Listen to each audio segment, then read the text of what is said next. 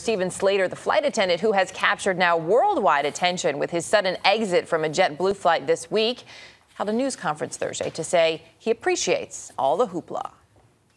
Thank you all so much. It's been amazing, the support and the love and the, the everything that's been brought to me and given to me by my community and my friends and the industry at large. It's been absolutely wonderful.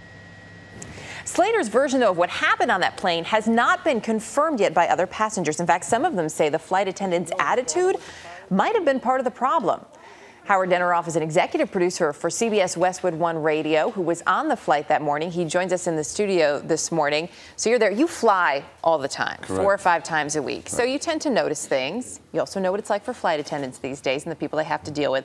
But something about Steven Slater stood out to you immediately. Why? Well, when you board a plane, normally all the flight attendants are very chipper, very perky. Good morning. How are you? Welcome aboard. And uh, I was actually seated towards the back of the plane, so when I walked all the way, he was in the back. Not a word, not a hello, just kind of staring straight down the aisle into space with his arms like this on the seats which was completely different than the other flight attendants on board when we first walked on. So you noticed that, you think, oh, it's a little different. But that wasn't the last thing you noticed. No, he, he, I, you know, I generally try to sleep when I'm on a plane, so I closed my eyes and sat down, and within a few minutes, I heard him. Um, I wouldn't say yelling, but sternly speaking to a, a, passenger about stowing the overhead, the bag in the overhead, which was too large. And um, you know, as from all accounts, it was the female on board that, uh, that he got into the altercation with. I didn't see her, but I could hear them going back and forth about the bag was too big, the bag was not too big. But that's not unusual. Mostly, if you fly that much, it happens all the time. It's not unusual, but did his tone sound unusual at all? Probably initially, it was a little gruff. I would say. You know, maybe the first approach would normally be a little more pleasant, and then if the passenger mm -hmm. was a little unruly, maybe you would then react that way, but it was it was right that way from the beginning. And then there was a there was a third incident to top it off. You luckily did fall asleep for most of the flight. Yes. but then when it was time when it was time to prepare for landing, he came back, and that's when you really sort of had a, a bit of an encounter. Well, they make the announcement, of course, as you're descending to you know turn off all electronic devices, put your tray up, and move your seat to an upright position. I was sleeping the whole flight, so I had never moved my seat, but. Apparently, he didn't think so, and so he smacked the back of my seat and said, Sir, you heard the announcement, you need to move your seat up.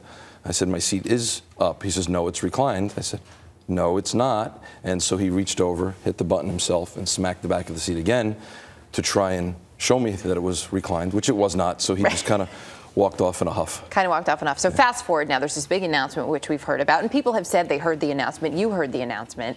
What did you make of it at the time? You're talking about the cursing that he did? Yes. Yeah, because before the one that, that we can't repeat on TV. Right, right. But before that, when we landed, the passenger stood up while we were taxiing on the jetway. So there was another announcement from Slater telling the passengers to sit down pretty sternly. Again, rightfully so. Mm -hmm. They were wa walking and uh, lifting up the overhead compartment.